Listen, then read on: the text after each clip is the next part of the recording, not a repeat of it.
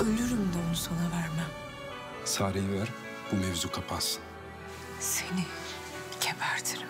Her şey daha yeni başlıyor önce. Merhabalar Yonca Hanım. Sare nasıl?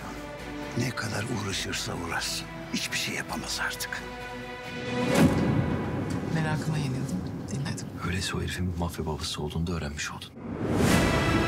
Kızımdan boşanacaksın. Peki ya boşanmazsam? Hem savcılığını bitirir hem de içeri attırırım.